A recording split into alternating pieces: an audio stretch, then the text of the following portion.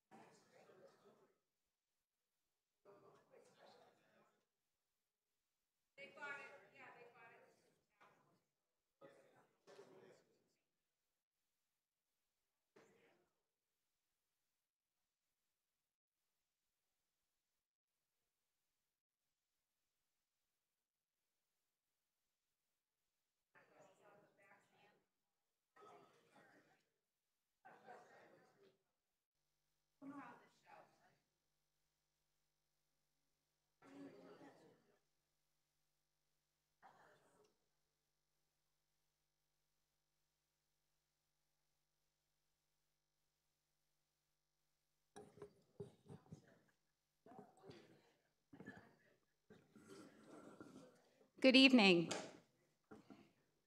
Good evening and welcome to the Marine Biological Laboratory and the MBL Falmouth Forum. My name is Gina Hebert and I'm the MBL's Director of Communications. I want to thank all of those, those of you who are joining us in person tonight here in the Cornelia Clapp Auditorium, as well as all of you who are joining us virtually. Before we get started on tonight's presentation, I want to take a moment to thank the Falmouth Forum Committee. Um, they're a committee of the Friends of the MBL, and they do all of the great work bringing free cultural enrichment to our community and speakers like Dr. Hodes. They work throughout our community and, and mainly through the Falmouth Forum series. So thank you all, those of committee members who are here tonight. This series is supported by an endowment that was established by a generous group of individuals, foundations, and organizations. And they bring the program that we bring to the community. It's directly related to the support of the endowment. I'm pleased to share that with a generous matching gift of $25,000, we have surpassed the midway point of our $100,000 goal. But there is more work to be done. I hope that those of you who are here tonight and those of you who are watching virtually will consider supporting the forum endowment and helping us reach our goal. There are several ways that you can give. You can scan the QR code with your phone right now.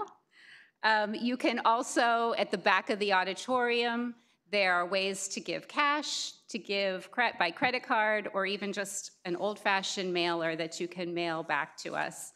Um, in any way that you choose to support, we appreciate it. And just know that your donation is going towards bringing programming like this to our local community. And if you've already made a donation, thank you very much. Before I hand it off to our introducer, I'd like to remind those of you who are in the auditorium to just make sure your cell phones are silenced. And now I'd like to turn it, over to Dr. Mike Fishbein, a member of the Falmouth Forum Committee, who will introduce tonight's speaker. Thank you.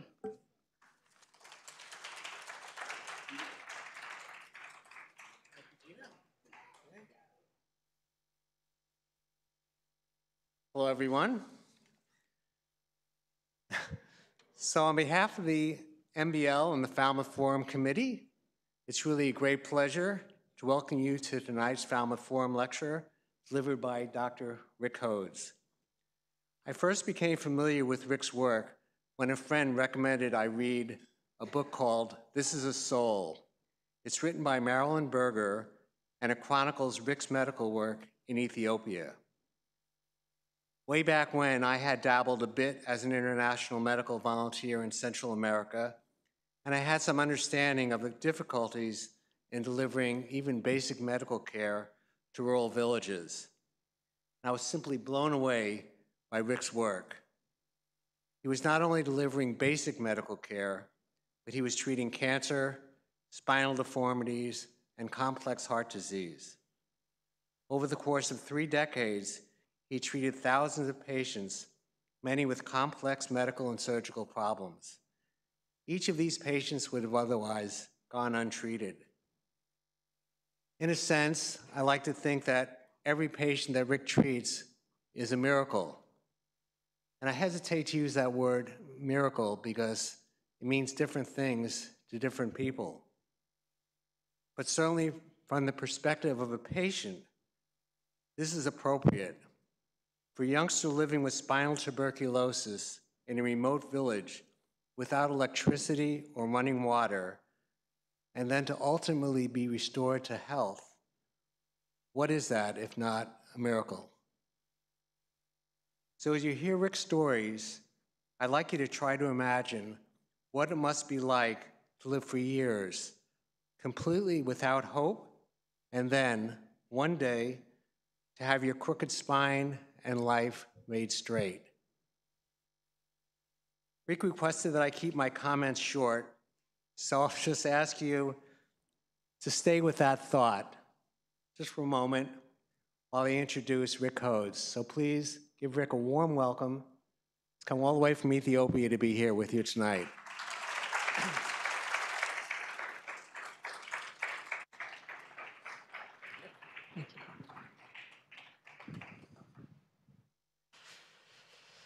Let's see.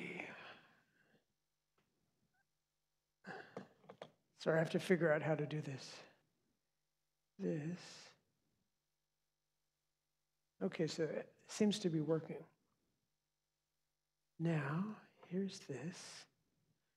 Change my glasses. It's like my to do list, you know, it's like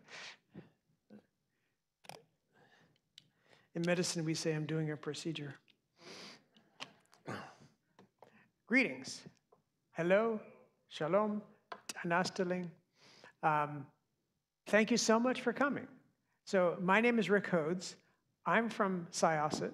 I graduated from Syosset High School in 1971.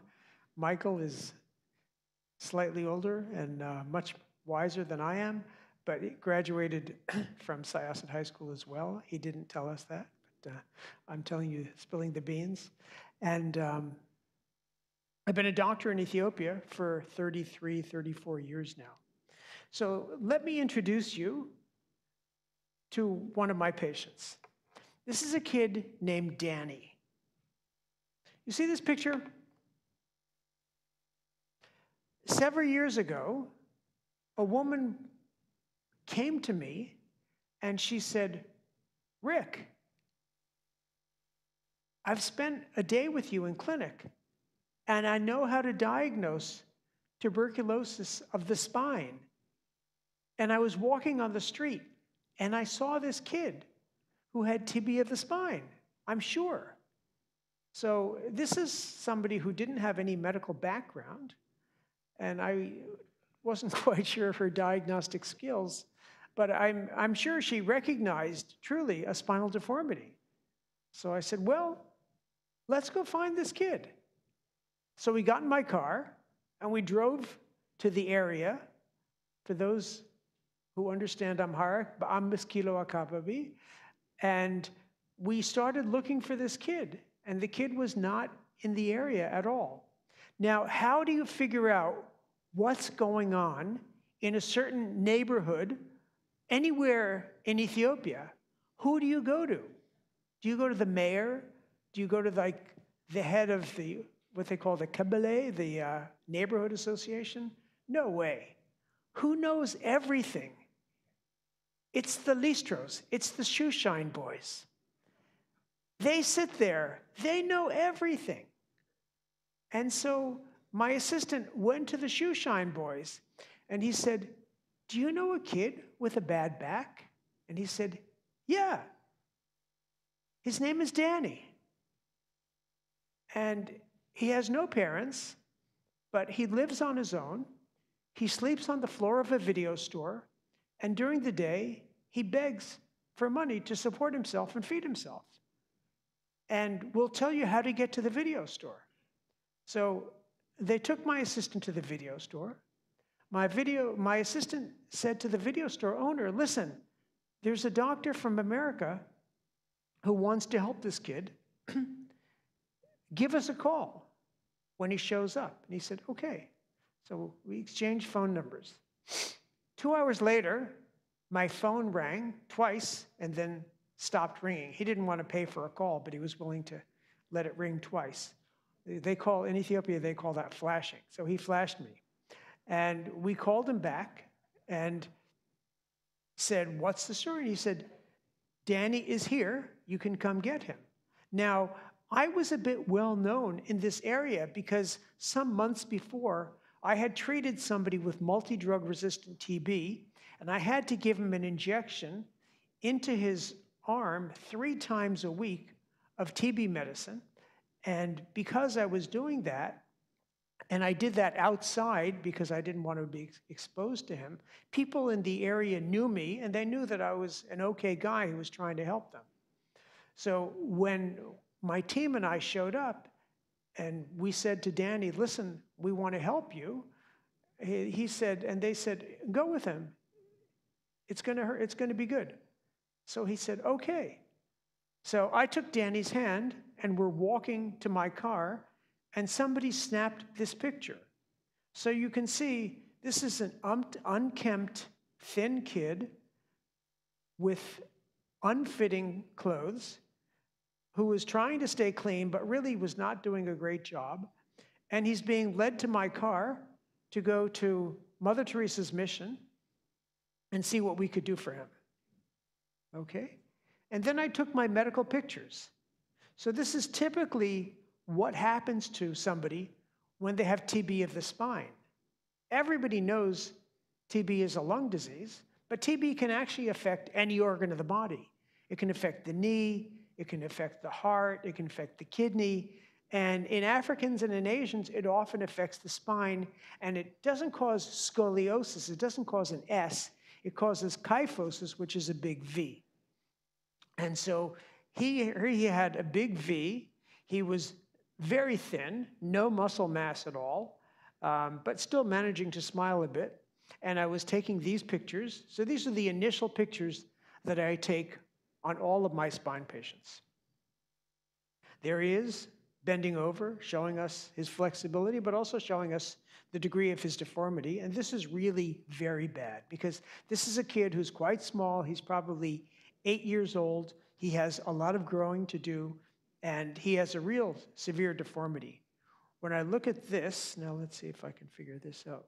Okay, so um, this is his spine, and you can see here you see a regular bone, here's a regular bone, here's a regular vertebra, but then you have a mass over here, like three or four bones that are fused together. So he had such an intense inflammatory reaction that several of his bones just fused together.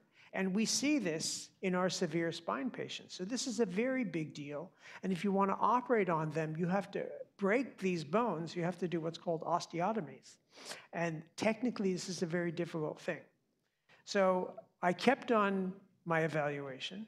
Here's his x ray. So you can see here's the outline of his spine, and here you see some individual bones. But I want to point out you see this thing here? This deformity here is actually inside the lung. So, besides TB of the spine, he also had TB of the lung. Now, I've treated a thousand cases of TB of the spine, and I've only had about three who had simultaneous TB of the spine and the lung together. But it made it much more difficult, and I'm not going to go into the details, but he was a very sick boy, and we weren't sure whether he was getting better or getting worse. But I stuck to my treatment, consulted some experts, gave him nutritional feeding to the best I could, and he started getting better. So here he is. We became friends. Here we are having a snack in the middle of the day together. He got better. We treated his TB, and here he started going to school. You can see he's very proud to wear a uniform, to have a Spider-Man backpack. Natalie Portman came to visit, and she paid a visit to him. And uh, here we are at the Sheraton Hotel, and Natalie was very happy to see him. Then I sent him off to my partner organization called FOCOS, F O C O S, in Accra, Ghana. Here he is after his surgery. That big V is gone. And if you took it, take a look at his back. He has these screws, and then he has this cage. So what they did is they actually removed several bones, and they put the cage in as a spacer in between. So he's actually in okay shape and was ready to continue his life. So here we are in Africa. Um, there are actually, anyone know how many countries there are? Actually, I had to look this up today. It's, there's 59. Um, so there's 59 countries. Actually, that's interesting. I wonder if they counted South Sudan. I, I don't know. Anyway, there should be 59 countries. And here we, here we go. Here's the map of the continent. Now, here you see simultaneously the African continent and North America laid on top of it. I just wanted to show this to show you how bigger Africa is, much bigger than North America. Okay? Here you have the individual countries. We are in Ethiopia.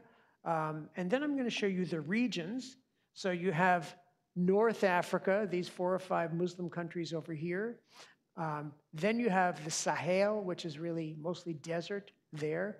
You have the East African region, um, where I am Ethiopia, Somalia, Kenya, Kenya, Tanzania, and so on.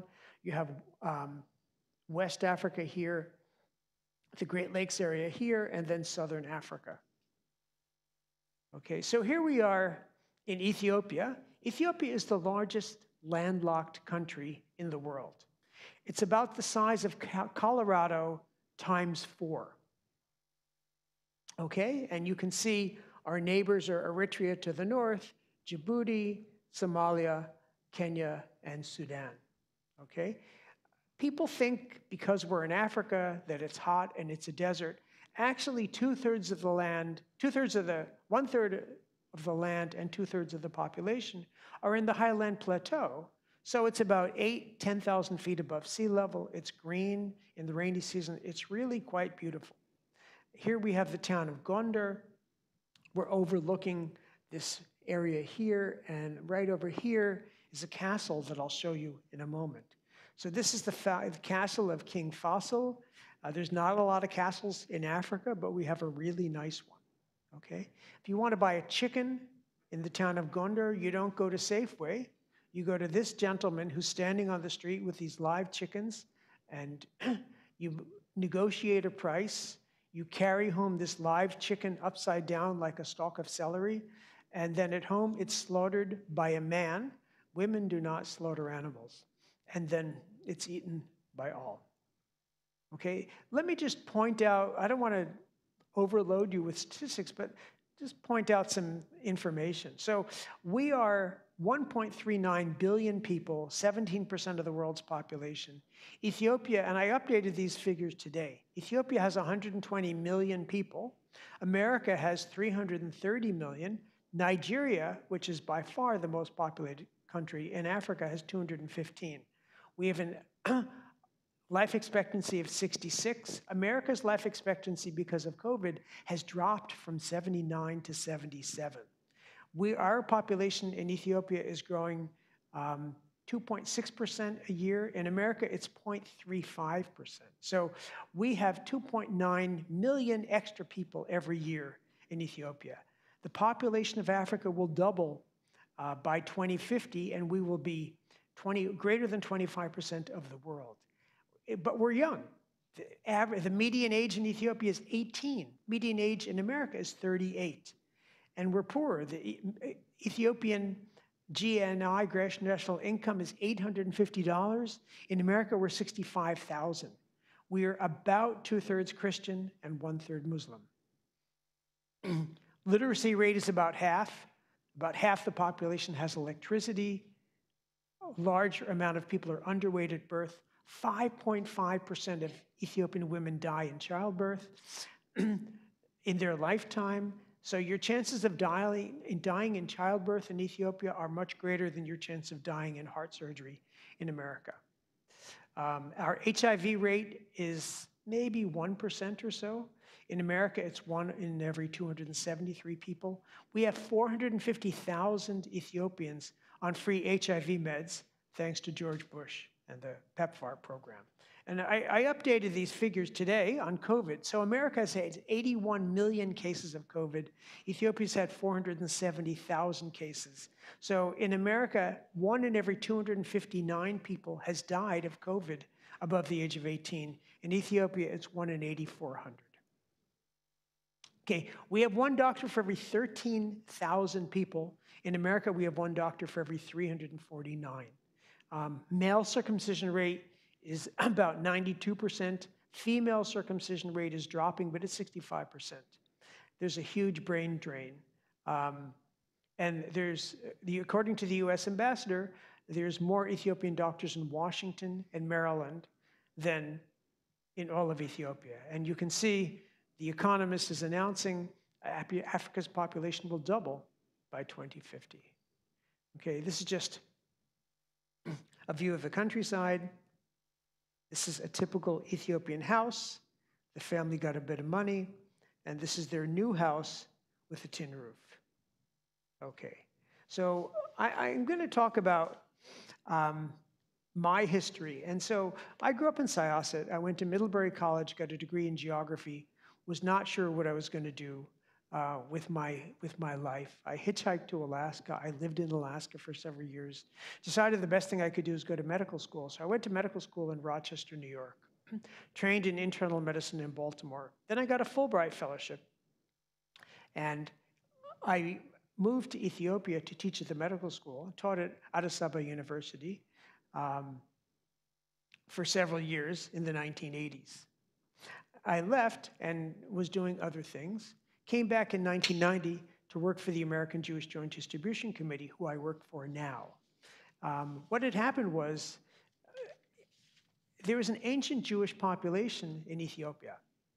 Um, early travelers had described their situation.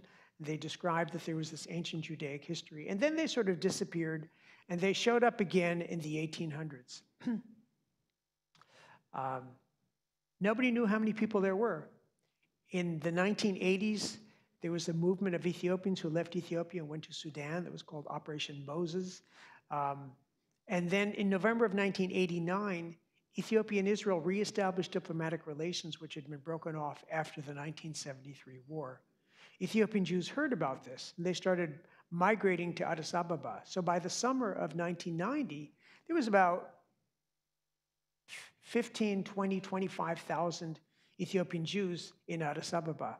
The JDC, my employer, started a medical program and several months later hired me to be the director. So we had a clinic, we had an immunization program, we had a nutrition program, we had a modern tuberculosis program, and we had health facilitators. The death of the population, uh, the death rate decreased significantly. And there's a civil war going on, and um, the, it was getting closer and closer. So all of this is happening, and we didn't know what was going to happen.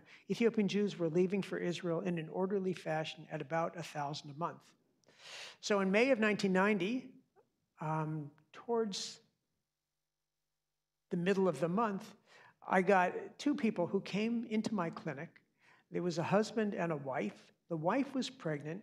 She had malaria. Now, malaria in pregnancy is a very terrible thing because the placenta becomes like a magnet for the malaria parasite, and you can easily kill the mom and e easily kill the fetus. So the mother needed a blood transfusion. I was willing to give my own blood. The husband didn't weigh enough to donate blood, but I needed another blood donor. So I said, okay, I'm going to go to a shoeshine boy. So I found my shoeshine boy, who I did business with on a weekly basis. And I said, How much money do you make a, a, a month? And he said, $5. And I said, Okay, I want to offer you $20 right now. And he said, Let's go. And I said, Okay, we're going to donate blood.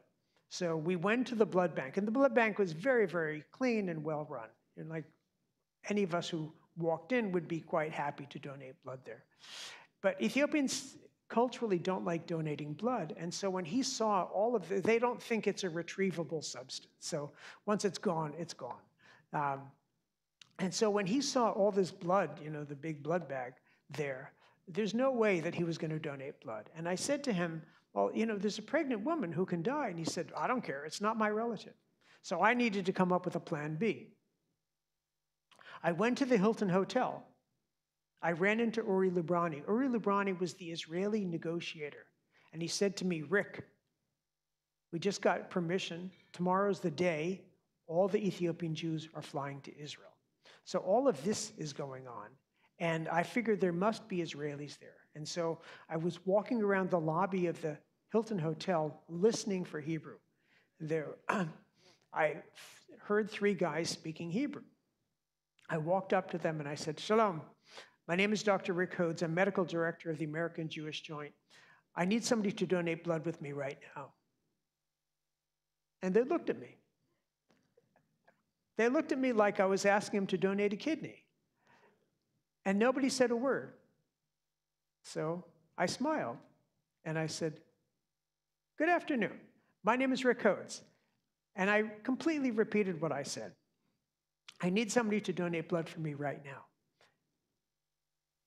And one guy finally looked up and he said, I can't donate blood. And I said, Why not? And he said, Tomorrow is going to be a really busy day, and I don't want to be tired. And I said, I lost it. I said, Doesn't anyone give a shit? I said, There's a pregnant woman who's going to die, and you're worried about being tired tomorrow? And I just stormed out of there. This guy, whose name is on the record, Boaz Bismuth, got up, ran after me, held my shoulder. He said, Doctor, let's go. And I said, Why'd you change your mind? And he said, I have a pregnant wife. And so we went, and he donated blood. He was nervous about it, but when he saw it, he said, Everything's fine. So, and we became friends. And he said, What are you doing tomorrow? And I said, I'm getting the Jews out of the hospitals. And he said, Well, I'm going to follow you. So the next morning, we got up and we called together this group called the committee. The committee was the 20 most educated people in the 15,000 Ethiopian Jews who was left in Addis Ababa. And we said, Go to every single house, tell them, drop everything, get, bring only your medical records, any x rays you have, and that's it. Show up at the Israeli embassy, and we will get you to Israel. So, my job that day was getting people out of the hospital. And I drove across the city in the morning traffic to uh, a hospital, the a leprosy hospital, where I had this young teenager who had both tuberculosis and leprosy, two mycobacterial diseases. And I found him and I said to him, Mandefro, we can go to Israel today. Let's go. And he said, Is she? Okay. Now, the doctors around him said, Who are you? You can't just take a patient out of the hospital. So I went to the hospital director, and I didn't want to tell him that the largest civilian airlift in world history was going to start within a couple of hours. Uh, so what I said was, I'm from the Embassy of Israel. There's a flight to Israel today of patients, and this kid qualifies. So he says, I want a letter from his mother. So I said, Well, I'm not sure who his mother is, but how about a letter from the Israeli ambassador? He said, No, well, that would be great. So I got the ambassador on the phone and I said, Can you fax over? This is the days of the fax machine. Can you fax over a letter? And he said, Well, our fax machine is broken. So, you know, and this is early in the morning. I have this massive to do list, and I'm wondering how many things didn't go wrong that day. I went back to see the kid, and the team was on some other part of the, of the ward. And I literally, he's a small kid and he's malnourished. I picked him up and I ran as fast as I could. put him in my back seat of my car. I covered him with newspaper. I actually had brought newspaper for that purpose. And Boaz and I drove out as the team was running after us. You know, Ethiopians are good runners. But we made it out and put him on the floor of my clinic. My next stop was another hospital called Yekatit 12. And in Yekatit 12, I had a kid with meningitis. And I said to the mom, today is a flight to Israel and you can go. And she's, this is again, 10 in the morning. She said, My brother said to wait here. He's going to meet me at 3 in the afternoon. So I lied. I said, Your brother's waiting for you at the Israeli embassy. I mean, he must have been, right? So she said, Nope, I'm not leaving. So what could I do? I drove back to the Israeli embassy. By this point, I parked like half a mile away because there were all these people streaming into the Israeli embassy, and you also had all their neighbors who heard like something's going on, we want to see. So there were thousands of people, it's like a crowd going into Yankee Stadium. And if you look at the people going into the into the embassy that day, you could see a man with a baby on a kid on his neck and a couple of kids in his arms and a pregnant woman and maybe a blind mother in law. It reminded me of the Torah portion that we read on Rosh Hashanah, the Jewish New Year. And it, you know, it talks about the four groups of people going to go to Israel and make Israel a great nation. And they don't talk about Jewish doctors from Syosset. Who do they talk about? This is Jeremiah is talking about the blind, the lame, pregnant women, women in labor. That's what's going to make Israel a great nation. And that's what you saw going into the embassy that day. So I walked in the middle of all these people, and some guy tapped me on the shoulder. And I said, Mindanao, what do you want? And he said, Doctor, you need to help me. My sister's in Yekatit 12 hospital. Her kid has meningitis, and I'm here. What should I do? This is like a needle out of a haystack tapping me on the shoulder. Really, it's a true story. And I said, You're exactly what I want. Come with me. And so we got in the car, we drove to the hospital. She looked, he just stood at the door. She looked up and she said, Is she? Okay. And then she agreed to leave, and we all went back and uh, put her on the floor of the clinic. So I got a few more people out of the hospital, and then I sat down to write medical summaries. My head nurse, my wonderful head nurse, his name is Sister Tana, came up to me and she says, Dr. Rick, you're making a mistake. And I said, What's the problem? She says, These people are hungry. They need to eat, and you need to eat. And I said, We don't have any food. And she said, Well, you know, look in our container. So this is May of 1991. April of 1991 was Passover. And as the Jewish organization that I work for, the JDC, does all over the world, we sent in a large packing container of matzah. But it wasn't cleared out of customs until 10 days after the holiday ends. So we had thousands of boxes of matzah. So people were sitting on their homemade mattresses because we had a mattress factory, and we gave them each a bottle of matzah, a box of matzah. Now, Mr. Slimfast, remember Slimfast? Mr. Slimfast, God bless him, had donated thousands of packets of Slimfast. So we made big vats of Slimfast, and they sat on their matzah, their mattresses, eating matzah and drinking Slimfast. Now we all know, um, many of you have been to Passover seders, and you know the Jews have the story that Jews were in the desert in Egypt, and they couldn't bake their their bread, so they break their put the dough on, on the hot rocks, rocks and it turned into matzah. Um, so this is the middle of, Ethiopian Jews are in the middle of their exodus, and they're eating matzah as well, but of course this is 90, 1991, so they get Slim Fast to add to it. Um, and then we went and drove all these people to the airport, and they flew off to Israel. So that day, 39 flights flew into the country. Uh, 14,400 people flew out. A 747 took off with 1,079 people.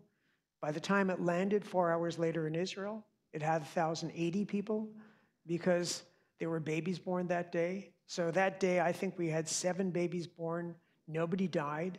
And uh, all these people ended up in Israel. So they flew from Ethiopia in the middle of the Red Sea, got to Israel, and uh, here you see them getting off the plane and onto a new life. And so my job for the next six weeks was identifying my patients with tuberculosis so we could restart them on treatment. And then I went back to Ethiopia and continued my medical care of the remaining immigrants. So I've been the doctor for about the last, I don't know, 75, 80,000 immigrants to Israel. So I've really been the doctor for 1% of Israel before they became Israeli. And here you see these people getting off the plane. Um, and I came back to Addis Ababa. And I started volunteering at Mother Teresa's mission. So this changed my life in many ways. And in 1991, I met these guys. These are abandoned orphans with tuberculosis of the spine. And you can see the guy on the left has a 120 degree angle. The guy on the right has a 90 degree angle. Um, they seem quite happy, but they have really bad backs. And there's a high chance they're going to be paralyzed unless they get surgery. Well, I wanted to get them surgery, um, but nobody would touch them. And nobody would touch them for free because this is such technically diff- difficult stuff. Well, I was thinking about this because I didn't want these boys to become paralyzed. Then I got this brilliant idea. I could adopt them, add them to my health insurance, and bring them to America and get them surgery in America. Now, the problem is when you adopt an abandoned orphan who doesn't have any relatives, they become yours for life. So, on one hand, I could save their lives. On the other hand, we'd have to spend the rest of our lives together. Did I want that much permanence? So, this really bothered me. And I thought about it for a few days. And I was walking along and I looked up at the Almighty. And I just said to him, I guess it's a him, huh? Um, we have to be careful about gender these days, I know. Um, I said, What do you want me to do? And uh, this true story. A few days later, it's if, as if he sent me a fax to my brain because the answer arrived. And the answer was this I'm offering you a chance to help these boys. Don't say no. So I said, okay. So I adopted them, added them to my health insurance. And like every step is difficult, you know, like what I'm saying in a sentence takes a month. Um, and then brought them down to Dallas, Texas, where they had surgery. So here they are after their surgery. Okay, this is a real picture. Okay, this is the younger one and me balancing each other. We sent this picture to the surgeon with a caption spinal stress test successful. Okay, now, if you want to try this with one of your sons, the person in my position has to weigh about 20 pounds more than the other guy.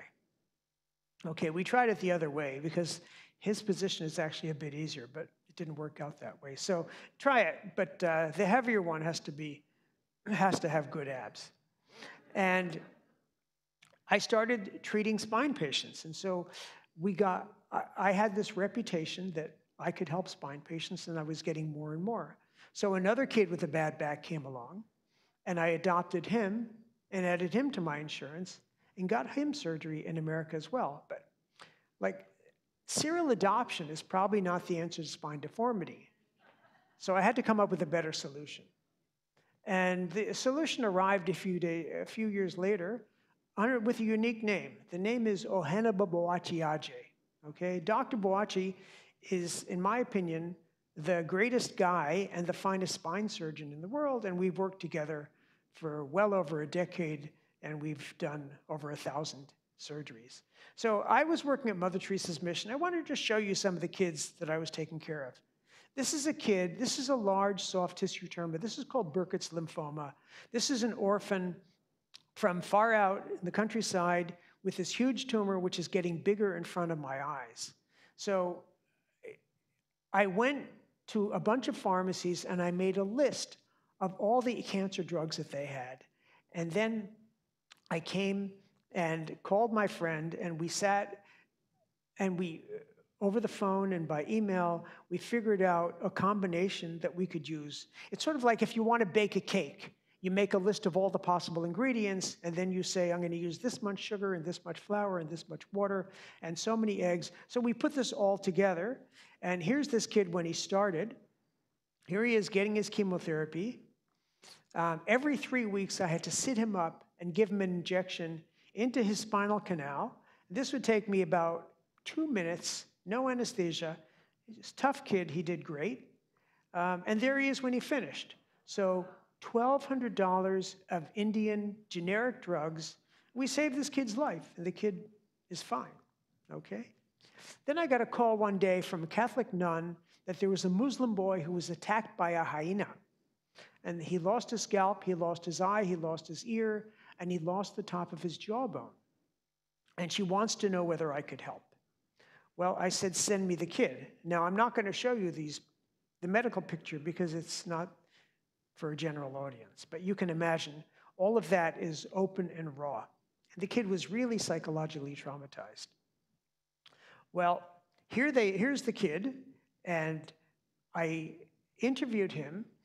My son, Adisu, was doing the translation, and the father said, My son was out playing with his friends. I heard some noise. I looked out the window and I saw him being attacked by a hyena.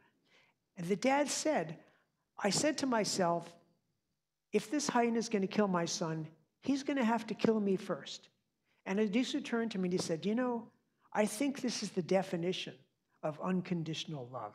So the father risked his own life, starts fighting with the hyena, knowing that a hyena, one bite from a hyena can kill you. The hyena fortunately ran away. And he thought his son was dead. He brought his son to this Catholic hospital. The wonderful nuns there nursed him back to health. And six months later, he was ready for major surgery. So they contacted me. I didn't know what to do. But my friends from Dallas, my host family, was visiting. And that night, over dinner, I just said, You wouldn't believe this kid I got today. He was attacked by a hyena. He needs so much plastic surgery. I don't know what to do. My friend, who's a restaurant owner, turned to me and he says, You know, Rick, I'm active in this organization called Friends of the Western Galilee Hospital in northern Israel. Do me a favor, send me the information. I'll send it on. I said, No, okay. nothing, nothing to lose. So I made him a PowerPoint. I sent him the information. The next day, the head of the hospital called me. He said, Dr. Rick, we want this kid. So here we are. We got this kid a passport, got him a visa, drove him to the airport, put him on the plane. He spent nine weeks in the hospital, uh, in and out of the hospital, had three long surgeries. He came back a new, confident kid. He had three suitcases of clothes. He had more clothes than Imelda Marcos. and he was a brand new person. And then he went on television in Ethiopia saying, Israel is the greatest country in the world. No other country could have done this, and they saved my son's life. So it was like an amazing situation, and this kid became so much better.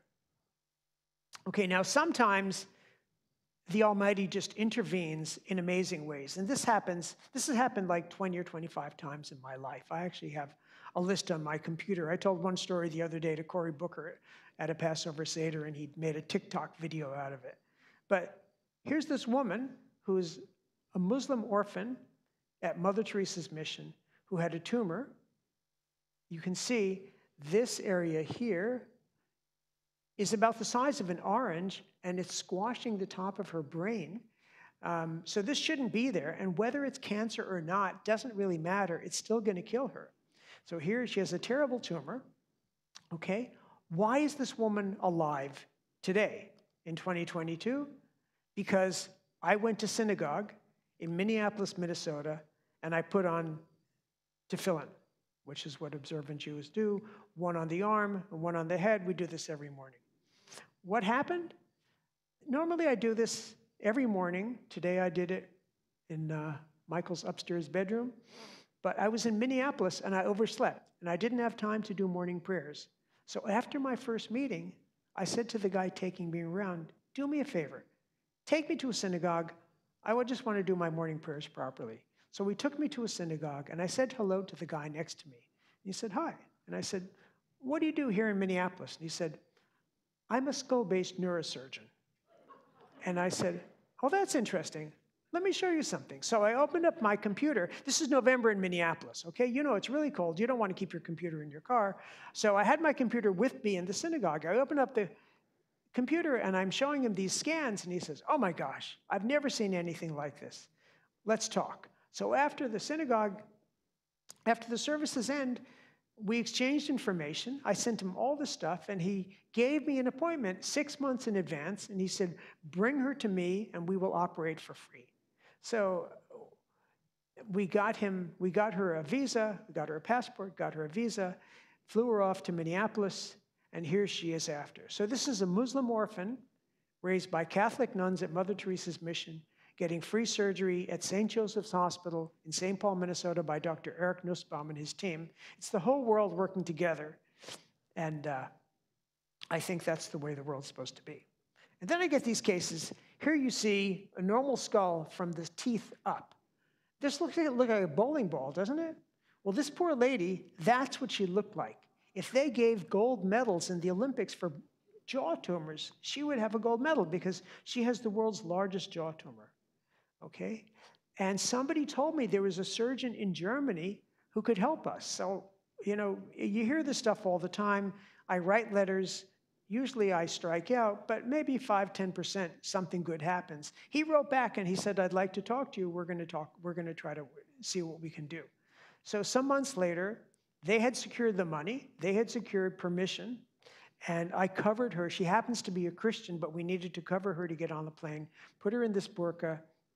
We flew her off to Munich, Germany, and here she is. She had a 17 hour surgery. They removed the whole lower jawbone. They made a new jawbone out of the fibula, the, the lower, the bone in the lower part of the leg, the minor bone there, and gave her dental implants. She's now a nanny for a German diplomatic family living in Geneva, Switzerland. She has a brand new life, and you can see we've completely transformed her life. Now, this kid that I'm going to talk to you about right now is named Sentayo, and he actually is supposed to be listening. So, Sentayo, Danas Lingatai. I'm going to take a drink of water and continue.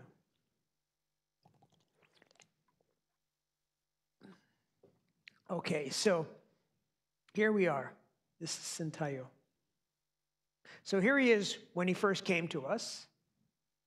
He has a right sided curve, but when you look at the 3D reconstruction on the CAT scan, this is unbelievable. Like, I'm not even sure how do you measure that angle, but it's probably about 200 degrees when you go up and around and so on. And this is how he was living, and this was squashing his lungs. And so if he got pneumonia, he would have no reserve and he would die. Okay? Now you can see me in all my glory. I'm five foot three. Okay? Um, and but if you look at the two of us next to each other, he's a lot shorter than me. But look at this. Look at his belt and look at my belt. So our belts are the same. Okay? So he should be at least my size. But look at my chest and look at his chest. His FVC, his forced vital capacity, was less than two cans of Coca Cola. And we live at 8,000 feet above sea level, so he had no reserve. So he's sort of a ticking time bomb. If he got pneumonia, that would be it. So here he is beforehand. We sent him off to our hospital in Ghana. Here he is after four months of traction. I'll tell you guys about traction. And there he is during surgery, he ended up with five rods. There you can see his five rods and a bunch of screws. He had bones removed. He had a, a cage put in his place. And there he is. Okay, now look at this. I shrank, what, six, eight inches? And this guy is now a new life. He now graduated with a degree in engineering. He's been to Korea. He gives lectures. We've completely transformed his life. So, this is a kid who, by sure, would have caught pneumonia and died at a young age, and now he has endless possibilities. Okay. These two guys walked into my office, and the guy on the right, Solomon, what is his job? He's a Kes, okay? So he's an Ethiopian Orthodox priest. If you walk into a grocery store and you see somebody with a dark shirt and a white collar, you say to him, Good morning, Father. You just know this guy's a priest. Well, this guy on the far right is wearing the garb of an Ethiopian Orthodox priest, and you would say the same thing, um, Good morning, Father. So they walked into my office, and I said, Can I help you? And they said, Yeah, I want you to treat my brother. And so I said, I took my pen and I was writing the intake information. What's your name? Where do you come from? All of this stuff. And I looked down at their feet and I said, You know, your shoes are in bad shape. They said, Yeah, we walked here. And I said, You walked from the bus station? That's eight miles away. He said, No, no, no. We don't have, we didn't have $20 for a bus. We walked from Gojam. That's 250 miles. And I said, Wait a minute, you walked from Gojam. How long did it take? And they said, Eight days. And I said, You walked for eight days to get to me, but where'd you sleep at night? You can't sleep outside. There are hyenas. And he said, Yeah. And then he just answered me with two words. He said, Xavier Engeda. Xavier Engeda means guest of God. Now, what he was saying, he was describing a whole traditional system of hospitality in the Ethiopian highlands where you can knock on any door and you can say, I'm a guest sent to you by God. Please give me a place to stay. They will open up their house to a stranger, cook you a meal, give you a place to sleep, which is probably the floor, give you water and soap to wash your feet, and show you out in the morning. They did this eight nights in a row. Nobody ever said no. Then they got to me, and I said, okay, tonight you stay at my house. And uh, they ended up moving into my house, and I was their, I was their host. So here's the kid, and he had been in school. He had been teased so much because of his back that he dropped out of school. There he is. Now here you can see um, this is a bar, so this is one, one, two, three, four, five bones that are fused. You can see it's trying here and here to diffuse, but really it's one big block, and these need to be um, opened up manually, like it's a big deal surgery, but they can do that and correct it. So here's his spine. This is a reconstruction. There he is after his surgery. Uh, lots of rods and screws. And then, you know, I had said he had been actually in a, in a program to teach handicapped young people how to be tailors. And he had these tailor skills. Well, he moved back into my house. We bought him, with the help of one of my donors, a sewing machine. And then COVID came along. He opened up a mask factory and he was making masks in my living room, selling them, and donated half the profits to us so that other kids could get spine surgery. This is a letter from a, um, a mother giving permission for her daughter to have surgery. Okay, this is a second permission. The kid was so close to being paralyzed permanently that Dr. Boachie called me from Ghana and she said, We need a second permission. So we explained to her the situation. She agreed that he could, she, her daughter could get surgery. We wrote it out in Amharic, we wrote it out in English. And here, she's an illiterate woman, so she's signing with her thumbprint. And there you can just feel her heart, the anguish she's had, and she's just praying for her daughter's recovery. Here's the daughter. That's her spine. Look at that. Okay, it's terrible spine. Okay, and there she is. After her surgery, she was a bit paralyzed. She learned to walk again, and Look at that. She's beautiful. We've completely transformed her life. So, how do we do this? Okay, so we send them to Accra, Ghana, and this is called halo gravity traction or ambulatory traction. We drill four holes in the skull and place these screws against the skull, and they're in these walking traction for two months, four months, up to seven months. Now, this is a world's record picture. Okay, we're the only people on the planet who have 15 kids in traction at the same time. So here you see a spring system. Here you see a pressure gauge. We've started off with five pounds of pressure. We go up to half their body weight. We go up to half their body weight and we keep it there for months at a time. What do we do all day long as human beings? There's only three things we can do we can lie down, we can walk, and we can sit. So here they are sitting, but they're getting stretched by the pulley system. Now, in the morning and the evening, when it's cooler, is the walking time. So the first 90 minutes, the last 90 minutes of the day, here you can see these, and it looks, you'd think it would be painful, but you can clearly see these kids are not in pain. Here's the spring system, here's the pressure gauge, and they're walking along, getting their spine stretched, and we can get an up to a 50% correction before surgery by using this traction, and then they still need surgery. So here's my waiting list. And so now I have the largest collection of the worst spinal deformities in the world, and I'm working very hard to get them surgery, to raise money, and to train Ethiopian doctors so that they can do this in the future. Here's my partner, Dr. Ohene Boboachi, wonderful, wonderful guy. We were seeing patients all day long at a Christian hospital. At the end of the day, I said, let's take a picture. Now, he's a very religious Christian, and he says, Rick, we need Jesus in the picture. So we stood there in front of Jesus, and I turned to him and I said, two Jews and a Christian. And he burst out laughing, and then we took the picture. and this is our kids. So you can see this kid on the far right started out with a spinal cord tumor. He was not able to walk. Now he's walking.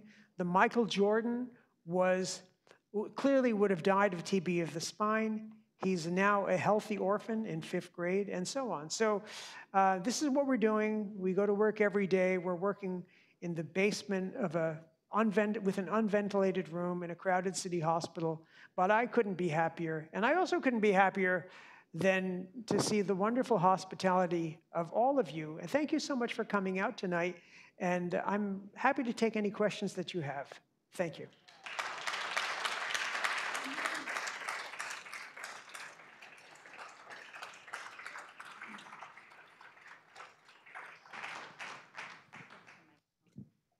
Thank you very much. That's just remarkable. Um, My question is somewhat twofold. Do you feel that these spinal injuries are particular to Ethiopia, or are you just in this particular country and that's where you're seeing them?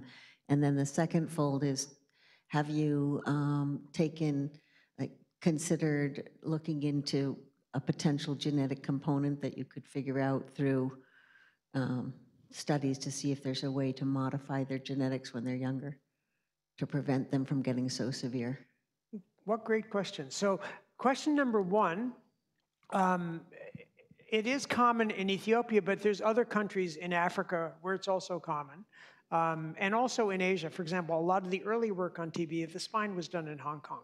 So it's a developing world problem, although there's plenty in Ethiopia.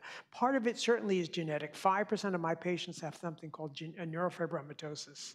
Um, and there's also, we have a bunch of cases running in families. So I'm looking for partners who can help me to do some genetic research. So the answer is yes. Yes.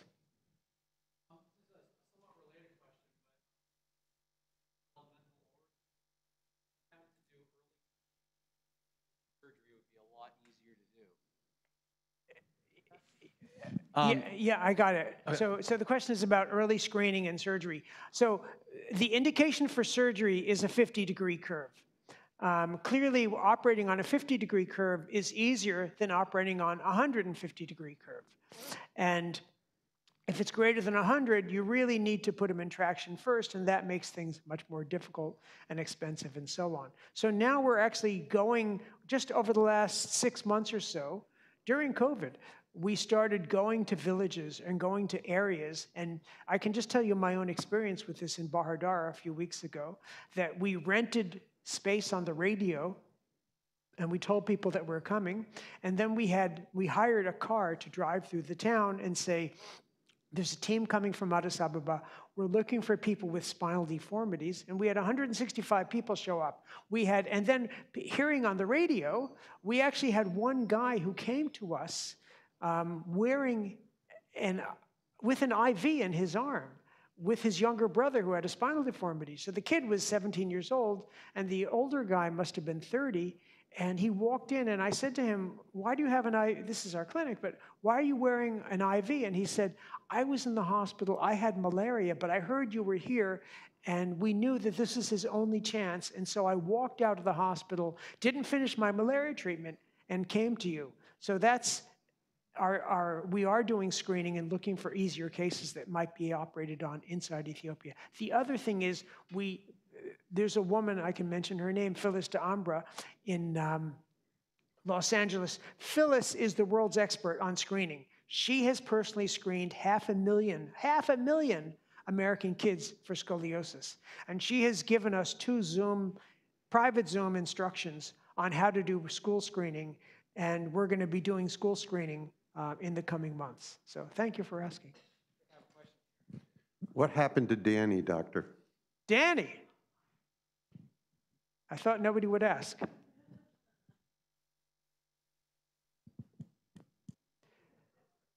So Danny is now a student at Connecticut College. Um, he was adopted by the woman who brought him to me, and uh, he's doing great.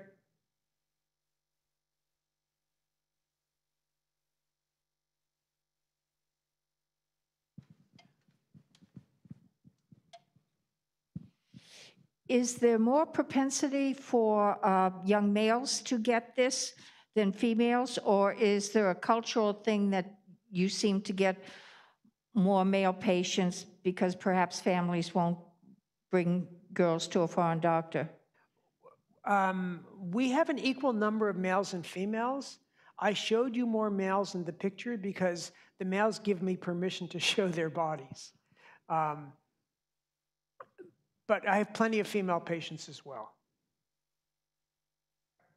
No, um, the TB of the so TB of the spine, it's pretty much equal. Um, scoliosis in America is more female than male, and in Ethiopia it probably is as well, especially what they call AIS, adolescent idiopathic scoliosis. Um, but we have other reasons for Ethiopians to have scoliosis besides this, eh, what they call AIS. So it's a, we have about 50 50.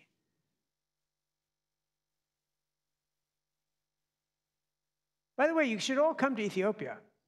Uh, it's a wonderful place to visit. And uh, my conflict of interest statement, 100% conflict of interest, is that my son has a travel agency.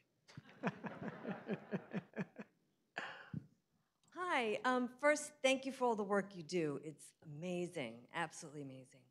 Um, I work at Hospital for Special Surgery in New York, and I was wondering if you ever worked with the spine surgeons there. Um, yeah, well, so Boachie was the chief there. Um, Matt Cunningham operated on one of my own kids. Oh, yep. Um, I know him. I know Hanjo. Um, And Joe Kim? yeah, Yeah, oh, fantastic, great. yeah. No, that's and actually, I myself have had surgery at that hospital, so um, I'm a big fan of HSS. Great, that's great to hear, thanks.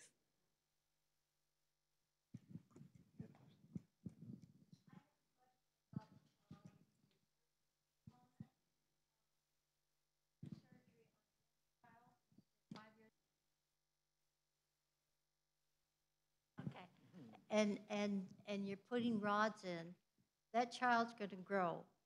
And, but yet you have a fixation component with the rods and screws. Um, How does that correlate with the growth of the child? So, what we do, what we do with growing kids is there's something called growing rods. And there's two ways of doing growing rods, but they're basically overlapping rods. And either you put in the rods when they're, say, five, six years old, and then either you manually, manually adjust them by a 20 minute surgery um, every nine months or so, or some of them, the, some of the more modern ones are electromagnetic, and you just put the electromagnet. Like we literally, um, my assistant in the last week has gotten permission for the Ghana team to come this weekend, bring the electromagnet into the country, and then you just put it on top of the person's back and it'll lengthen the rods. So you lengthen the rods to allow them to grow and to allow their chest to expand.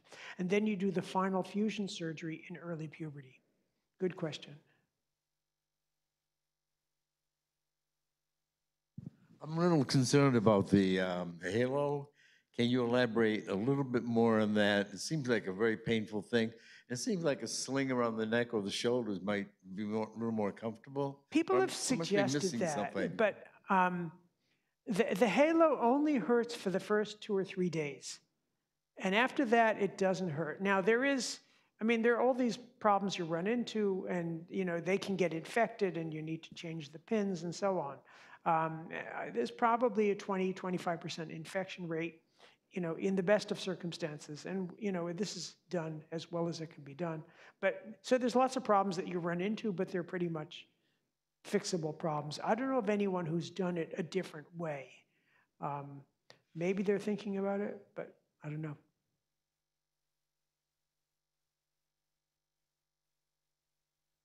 Yes.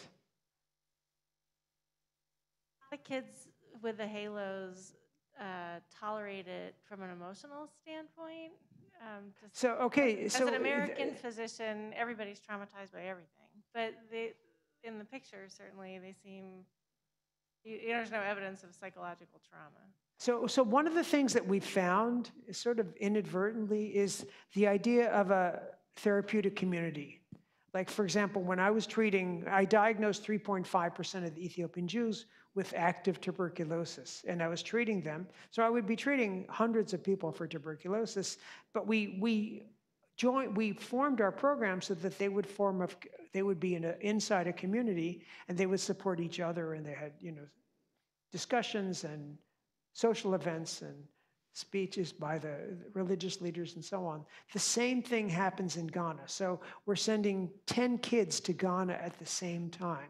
They bond together and they support each other. And the older ones encourage the younger ones, and the girls are especially good with the young kids because you're sending five year olds without their moms. Um, and so it's the 15, the 18 year old girls who are the surrogate moms in that case, and that helps a lot.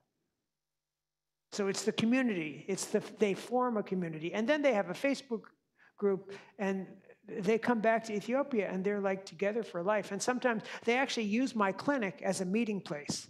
So I'll go out into the waiting room, and I'll see people waiting, and I'll say to my nurse, like, you know, Abibich was here. She didn't come in. What's did she didn't want to wait? And they said, no, she wasn't here to see you. I said, why do you come to clinic if you don't want to see me? They said, no, they come to meet their friends and they go out for tea. Okay. Hey, Solomon, stand up for a minute. Let me just int- introduce you.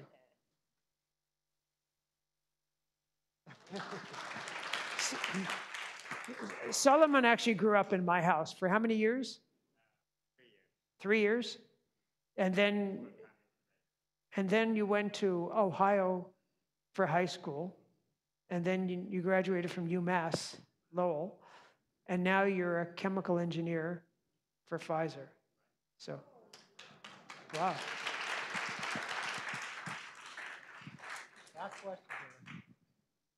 So when you have the children with less, lesser degree of scoliosis, have you started to do any studies to say how long you could put them in traction to prevent them from progressing, you know, when they're relatively mild, so that you could straighten them out and ideally stop the process? Like, can they go on a temporary um, stretching and then be released? So nobody's doing that. Nobody's doing traction to prevent scoliosis progression, but they are doing bracing.